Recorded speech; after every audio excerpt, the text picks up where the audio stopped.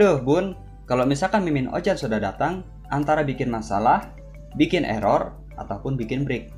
Tapi santuy, Bun. Di video sekarang, Bang Ojan lagi bager, alias lagi waras. Jadi di video sekarang tuh Bang Ojan mau review ataupun share sebuah modul Magis yang ada di repo. Ini permintaan dari pasukan sabun. Ya kagak tahu namanya siapa. Nanti sama Bang Ojan dipasang aja deh.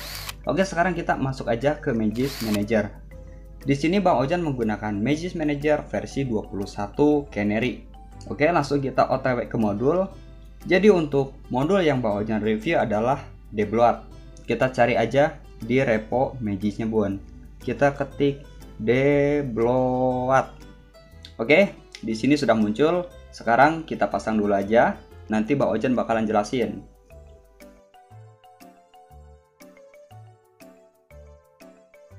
Oke, di sini pemasangannya sudah selesai. Langsung aja kita lempar HP-nya, Bun.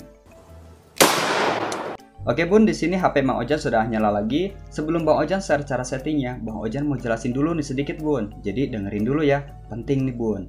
Oke, kalau misalkan kalian masih pemula, kalian pasti bingung kan istilah debloat itu apaan? Jadi debloat itu adalah aplikasi sistem yang kagak bisa dihapus. Kalau misalkan aplikasi yang kita download dari Google Play Store ataupun dari Chrome, itu namanya adalah 3RD Party.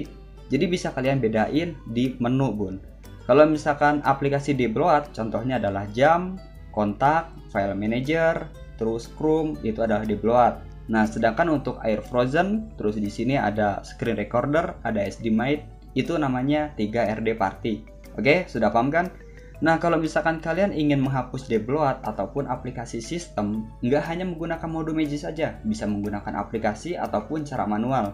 Setiap orang punya caranya masing-masing. Tergantung kita tuh, nyamannya pengen menggunakan aplikasi ataupun pengen menggunakan mode Magis. Tapi kalau misalkan emang kalian masih pemula, ya disarankan kalian menggunakan aplikasi karena lebih simple. Tapi kalau misalkan kalian pengen yang lebih menantang, biasanya nih kalau misalkan operators yang udah agak-agak paham lah tentang mode Magis ataupun tweak, dia lebih suka yang menantang dibanding yang gampang. Pokoknya nanti juga kalian pasti bakalan ngerasain.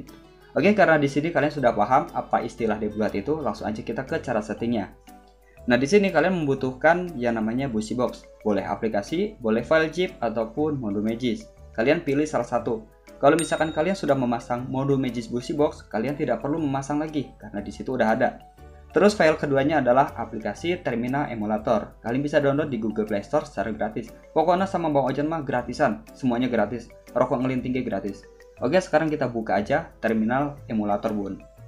Nah, di sini kita ketik su, kemudian enter. Jangan pakai e, nanti jadi sue.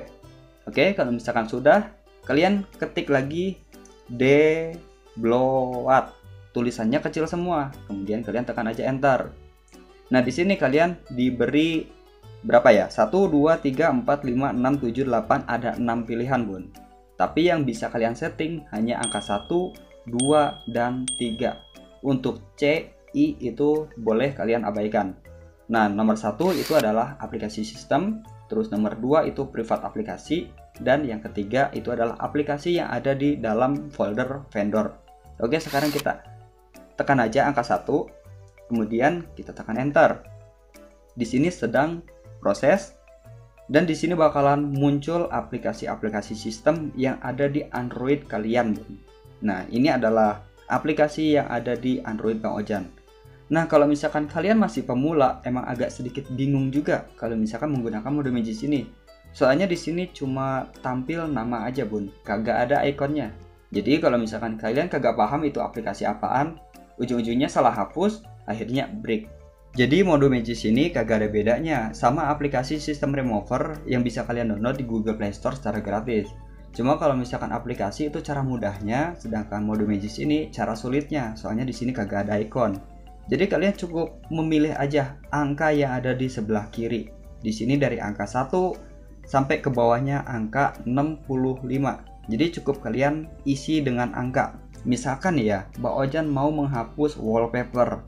Jadi Mbak Ojan tekan aja 64. Kemudian kita tekan enter. Nah, kemudian kalian cukup tekan aja huruf Y kecil. Oke, kalau misalkan sudah kayak gini, Nah, di sini tekan Y itu balik ke menu, tekan N itu keluar. Jadi kita tekan Y. Oke, di sini sudah balik lagi ke menu. Nah, kalau misalkan kalian pengen menghapus privat aplikasi, ya kalian tekan angka 2. Kemudian tekan aja enter. Kita tunggu prosesnya. Dan untuk aplikasi yang ada di folder privat aplikasi, totalnya ada 56 juga bun. Lumayan banyak juga sih. Jadi intinya mode Magis ini hanya untuk menghapus aplikasi sistem yang kagak bisa dihapus. Terkadang ya, ada beberapa pengguna yang gagal menghapus menggunakan cara manual. Jadiin contoh ya, Bang Ojan masuk ke folder root, kemudian Bang Ojan masuk ke folder system, kemudian masuk lagi ke folder apps. Nah, kalian bisa hapus secara manual lewat folder ini. Tapi sebagian Android ada yang gagal. Akhirnya dia berpindah menggunakan aplikasi pakai aplikasi juga gagal. Akhirnya kalian bisa berpindah menggunakan mode Magis. Jadi tergantung kita memilih caranya, pengen cara manual, pengen cara aplikasi, ataupun pengen cara lewat mode Magis. Sebagian pengguna kan ada tuh yang berkomentar, Bang, kenapa nggak menggunakan aplikasi aja? Ada juga yang berkomentar, Bang, kalau misalkan pakai aplikasi itu bakalan ngambil lagi RAM.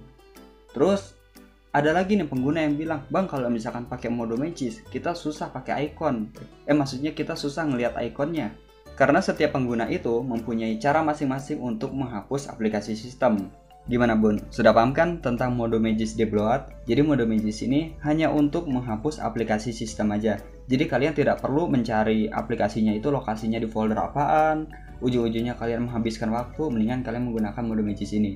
Tapi kalau misalkan kalian masih belum berpengalaman dan takut salah hapus, mendingan kalian menggunakan aplikasi sistem remover yang ada di Google Play Store secara gratis. Oke, sepertinya Bang Ojannya harus pamit. Kalau misalkan masih ada pertanyaan, silahkan tulis aja di kolom komentar. Jangan lupa bun, kalian tinggalkan uh, nanya gula, soalnya Bang Ojan kagak punya gula. Oke, sampai ketemu di video selanjutnya bun. Thank you.